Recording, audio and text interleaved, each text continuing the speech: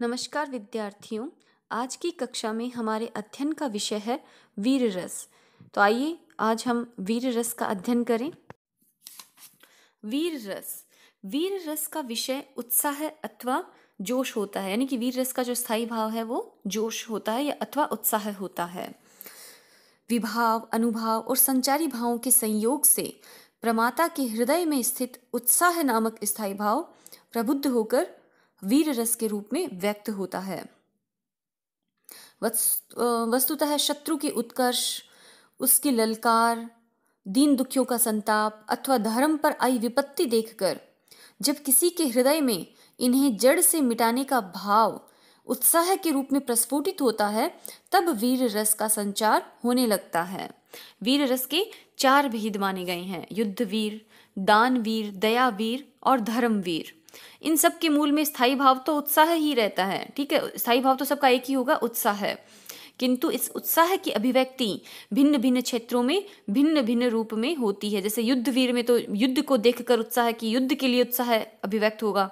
लड़ाई को देखकर मारू बाजा एवं चारणों के वीर गीत सुनकर शत्रु को सामने पाकर, शत्रु की दुर्दमनीय शक्ति देखकर, उससे युद्ध करके, उसे पराजित करने का उत्साह युद्धवीर के अंतर्गत आएगा। दयावीर, देखो, कभी किसी दीनहीन, शोकार्थ प्राणी को देखकर जब दया होती है और उसका कष्ट दूर करने का जो उत्साह होता है तो वो दयावीर के अंतर्गत आएगा। दया करने का, दीनहीन व्यक्ति पर दया करने का जो उत्साह होता है, वो दयावीर के अंतर्गत आएगा। दानवीर, देखो, गरीब और शोषित के जीवन यापन के लिए किसी सहृदय द्वारा दान देने का उत्साह दानवीर के अंतर्गत आता है।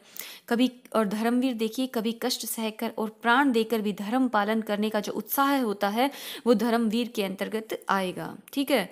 तो इस प्रकार से दयावीर, युद्धवीर, दानवीर और धर्मवीर, ये चार भेद हैं। सबका स्थायी भाव जो है वो उत्साह ही है, लेकिन सबकी उत्साह, इस उत्साह, स्थायी भाव की अभिव्यक्ति भिन्न भिन्न क्षेत्रों में भिन्न भिन्न रूप में होती है, ठीक है? युद्ध में अलग होती, होगी, दयावीर में अलग होगी, दानवीर में अलग होगी और धर्मवीर में अलग होगी। धर्म पालन करने का जो उत्साह होता है, वो धर्मवीर के अंतर्गत आएगा। दानवीर किसी गरीब, शोषित को मतलब दान देने का जो उत्साह है, वो दानवीर के अंतर्गत आएगा। दयावीर किसी मतलब पीड़ित व्यक्ति को, दीनहीन कोई पीड़ित व्यक्ति है, उस पर दया करने का जो उत्साह होता है, वो दयावीर के अंतर्गत आएगा।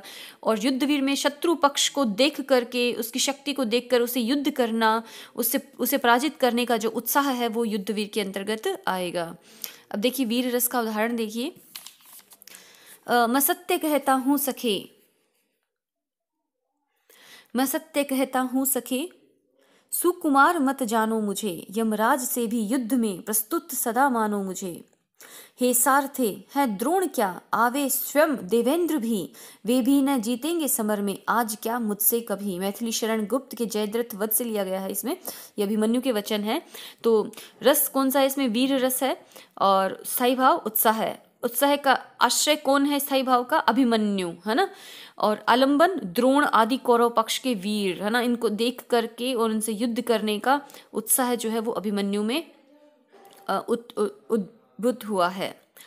अनुभाव, अभिमन्यु के वचन, है ना? और संचारी भाव, गर्व, हर्ष, उत्सुकता, ये सभी संचारी भाव का काम कर रही हैं। अन्य उदाहरण देखिए इसका, जैसे कालिया नाग को देख करके श्री कृष्ण का जोश से भरना तो श्री कृष्ण देखो कालीनाग को देख करके, उससे युद्ध करने के लिए, उसे पराजित करने के लिए किस तरह से जोश से भर जाते हैं। स्वजाति की देख अतीव दुर्दशा, विग्रहणा देख मनुष्य मात्र की, निहार के प्राणी समूह के कष्ट को, हुए समुत्तेजित वीर केसरी हितेशना से निज जन्म भूमि की अपार आवेश ब्रजेश को हुआ।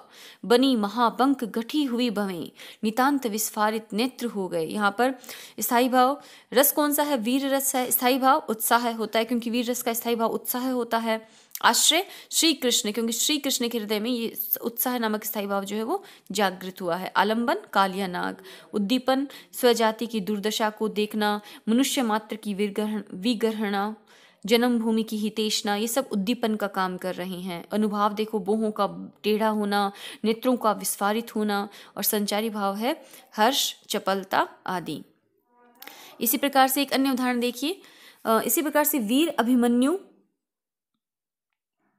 द्वारा अन्याय और छल कपट के प्रतिकार के निमित्त चक्रव्यूह का भेदन करने के निम्नलिखित प्रसंग में वीर रस का साक्षात अनुभव किया जा सकता हुआ है कर, किया जा सकता है।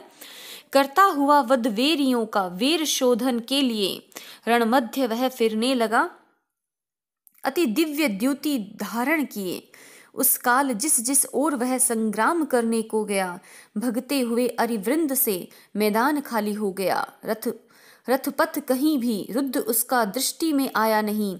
सन्मुख हुआ जो वीर वह मारा गया तत्क्षण वहीं। ये भी मैथिली शरण गुप्त के जयद्रथ वध से ही लिया गया है। यहाँ शत्रु पक्ष क्या है? आलंबन है और वेरियों का, उनके सम्मुख आना उद्दीपन है। उनका वध करना, रणभूमि में रथ का बढ़ाते चले जाना, ये सब अनुभाव हैं। गर्व, हर्ष, धैर्य, औत्सुक्य, संचारी भाव हैं और इन सभी के संयोग से उद्भुत उत्साह नामक स्थायी भाव वीर रस की दशा को प्राप्त हो रहा है।